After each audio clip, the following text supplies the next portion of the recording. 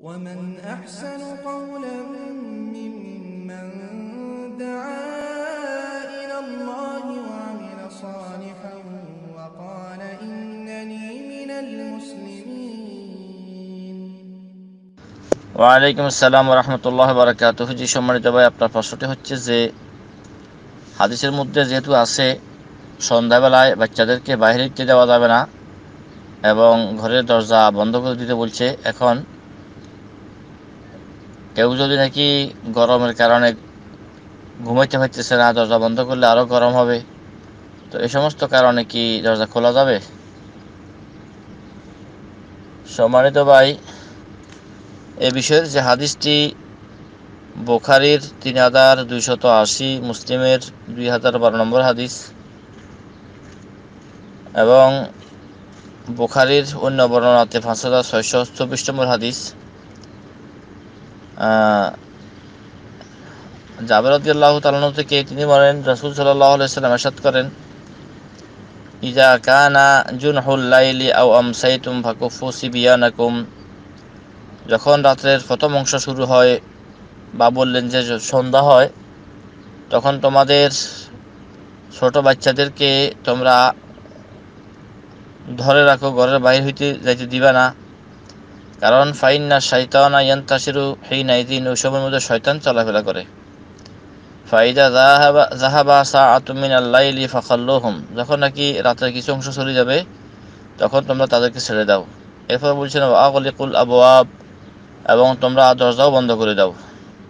ওয়াজ কুরুসমাল্লাহ দরজা বন্ধ করার সময় আল্লাহর নামরা, অর্থাৎ বিসমিল্লা বলে দরজা বন্ধ করো।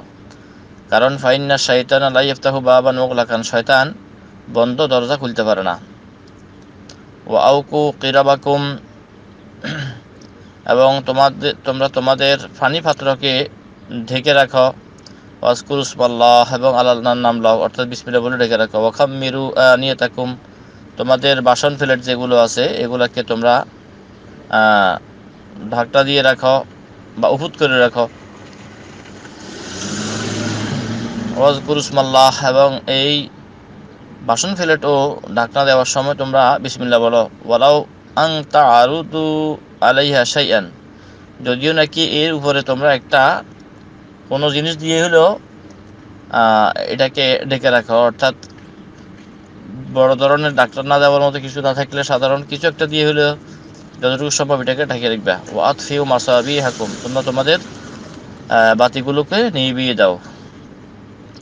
অন্য বর্ণনাতে যখন তোমরা ঘুমাবে তখন বাতি বন্ধ করে দাও এবং তোমরা তোমাদের দরজাগুলো বন্ধ করে দাও এবং পানি পাত্রগুলোকে ঢেকে রাখো এবং খানাফিনাগুলোকেও তোমরা ঢেকে রাখো। তো এই সকল হাদিস দ্বারা আমরা বুঝতে পারলাম দিক নির্দেশনা কী। তো যা হোক এই বিষয়ে আরও অনেকগুলোই বর্ণনা আছে সব কিছু মিলেই আমরা বলব। এটা হচ্ছে মূল বিধান। সাধারণ পরিস্থিতিতে এই কাজগুলোই করবে। ঘুমানোর সময়ও এখানে দরজা, জানলা বন্ধ করিয়ে ঘুমাবে। হ্যাঁ কোনো ওজোর আসে গেছে, কারণ আসে গেছে। এখন মনে করেন যে গরম প্রচণ্ড, এখানে ফ্যান নাই, কোনো বাতাসের ব্যবস্থা নাই, কষ্ট হচ্ছে, তখন একটা ওজোরের কারণ এটাকে খোলা রাখতে পারে।